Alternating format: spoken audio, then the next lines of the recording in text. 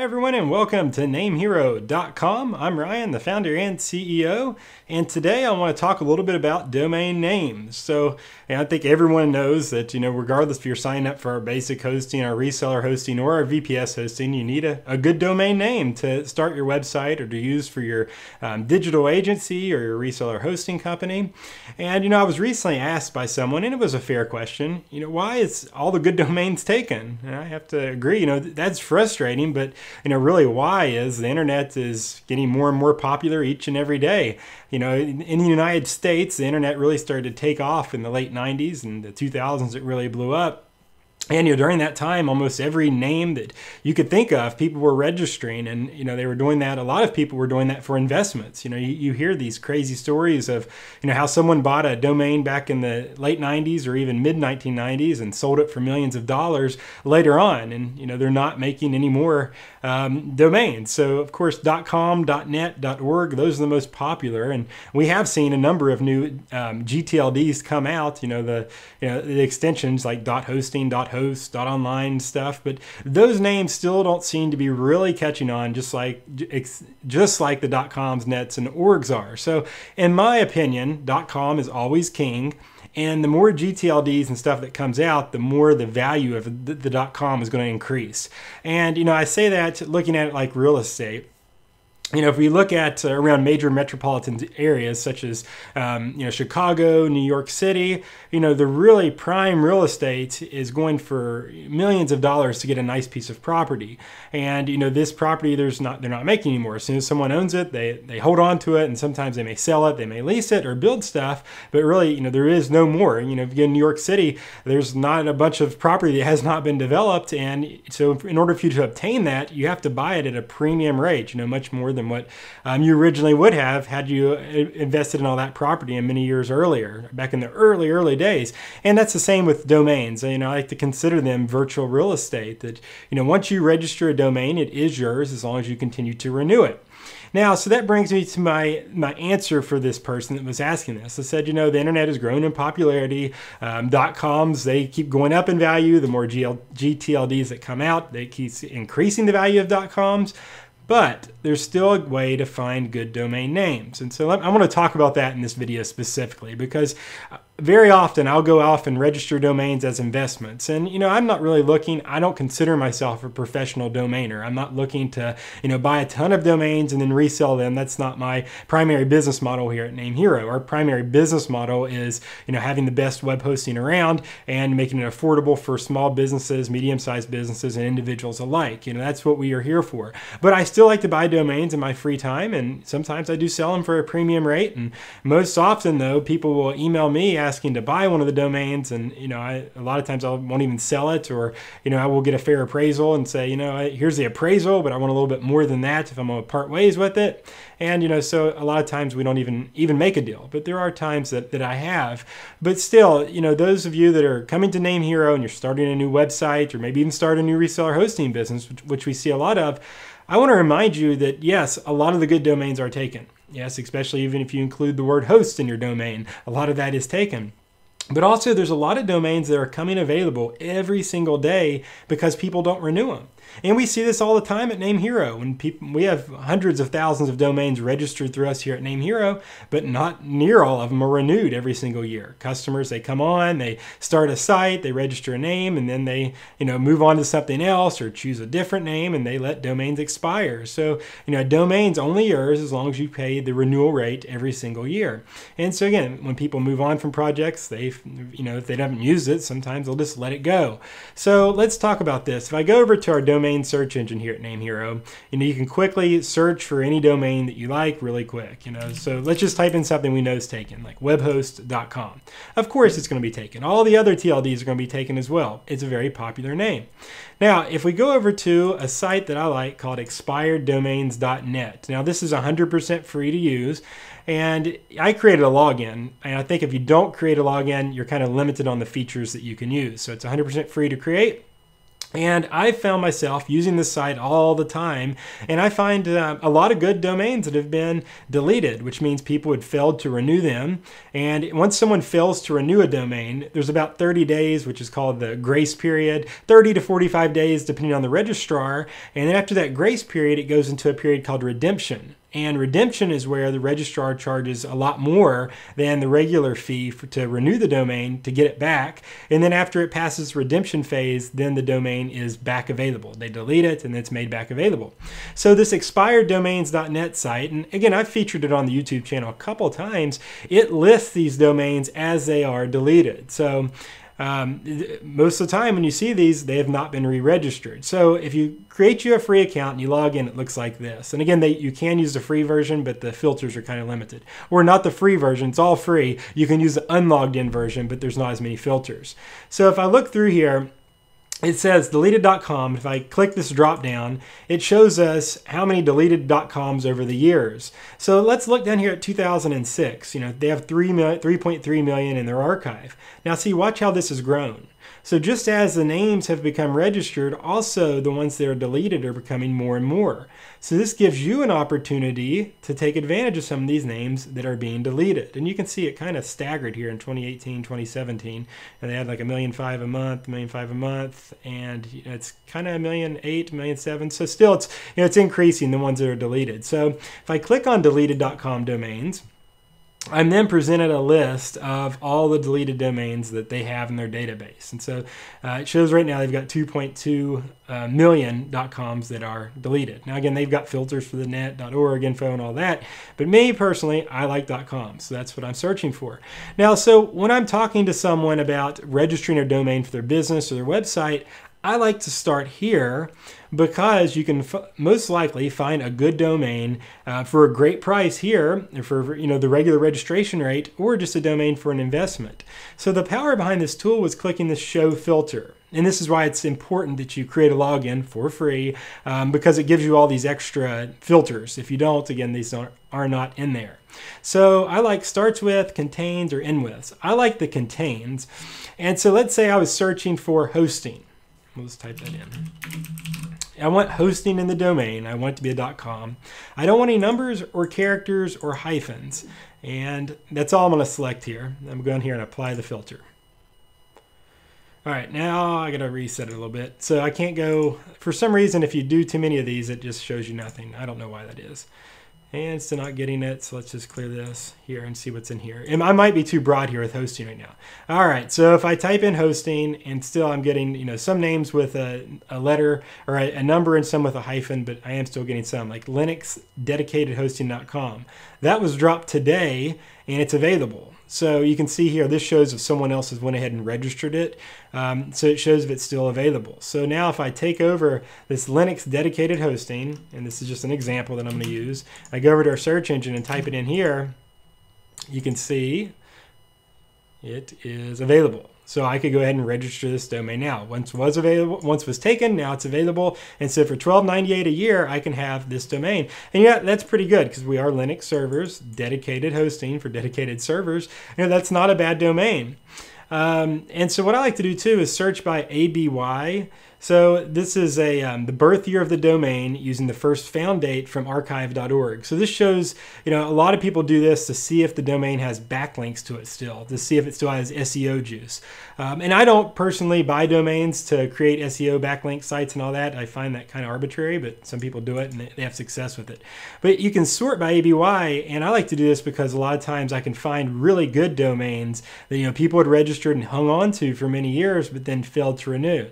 So look at this one, nochargehosting.com.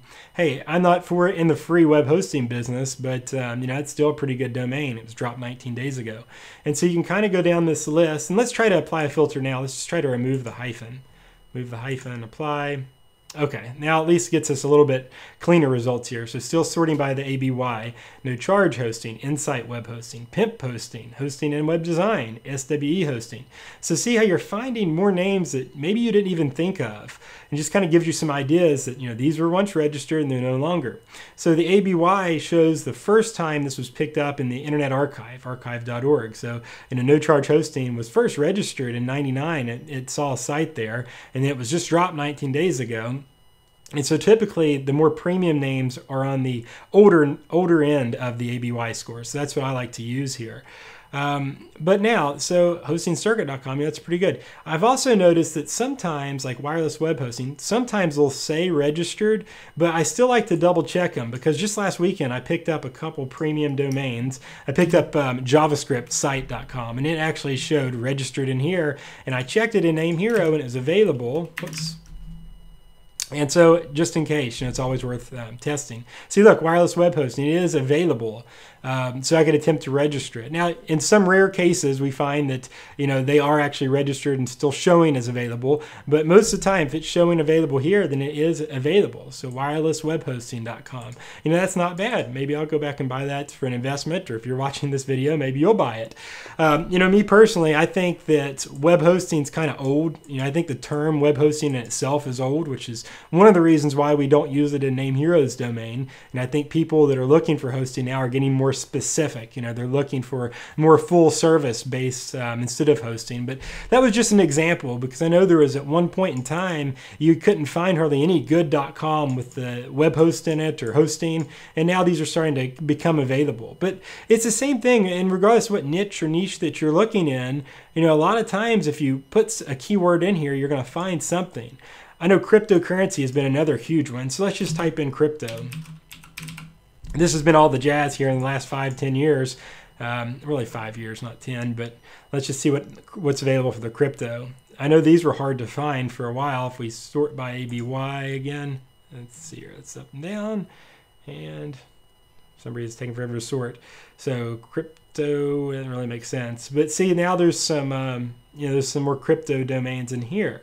So, you know, regardless of what you're looking for, and this says page one and 151, so there's a lot of them in here. Um, so, you know, regardless of what niche or niche you're in, you can find good domains that have been dropped. And, you know, if nothing else, this will also give you some ideas about what people have registered over the years, you know, to help you jog your memory, so to speak. Now, if you followed our YouTube channel, you know I personally didn't register Name Hero in the late 90s. That's when it was registered. So actually, someone had it. I was dead set on the name Name Hero, and I went out and bought bought it for a premium. You know, I paid way more than 12.98 to register Name Hero because I had to get it from someone else, and it was a private party, and they were willing to sell it, but they of course had their price, and we went back and forth for several weeks until we came upon a price that was um, that I agreed on and they agreed on, it and they sold the name to me. But I always tell people, you know, if you're just getting started.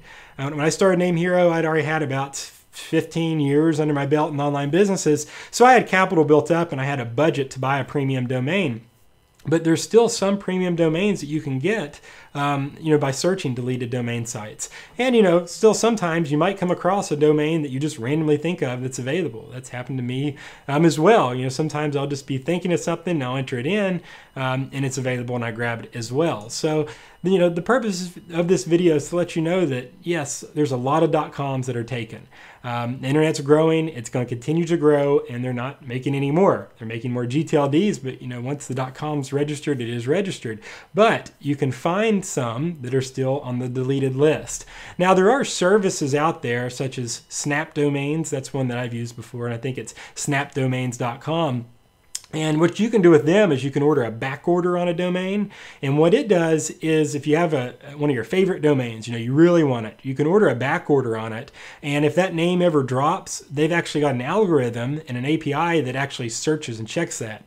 And if it becomes deleted, they'll snap it up a lot of times, hence their name, um, before it hits a site like this. So this doesn't always have the very best because sometimes those do get um, snagged up early. And I know there's several domain investors that monitor domain domains that way as well. But still, this generally will show you domains that um, you know are still available that you can register. And so, you know, I like to. I've I've now started that. I'll check here if I'm wanting to register.com. I'll check for deleted ones first. I'll come over here since it's all free and you know fairly easy, and um, and go from here and then move on out um, to my other options if I can't find anything.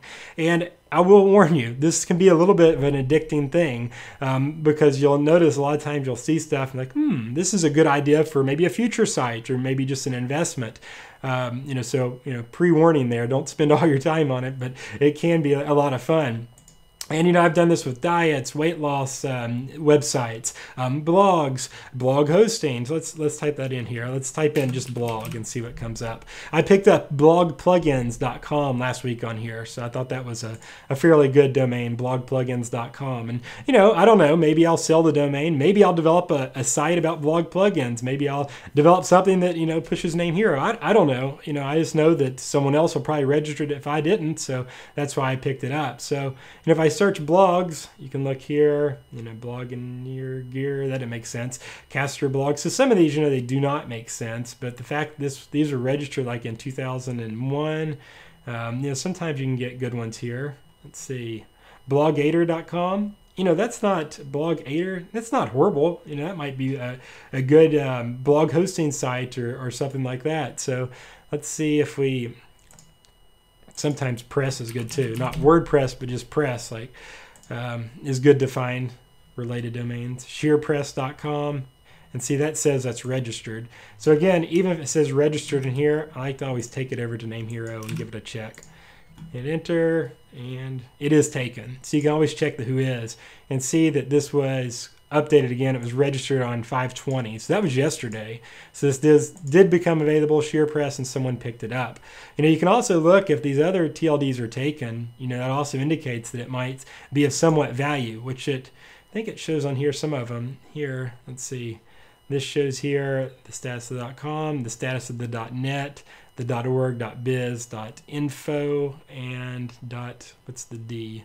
Um, .de. So, and that is info. Yeah. So this will show you here. The green shows that those are available. The red shows the other ones are taken. So like Virtual Office Express has the .net taken, and now it also says the .com is taken. So, you know, it, for those of you looking for a good domain or just looking for some domain investments, check out this site. You know, play around with it. Again, it's something I really do like. And you know, as I mentioned at the beginning, you do want to create a free account because you can filter a lot better. Again, if the free account, not the, it's all free, but with the non-registered account, you can't get all these filters here because you can also, you know, restrict the length and also, you know, put out some like the no adult names and stuff if you're not looking for that as well.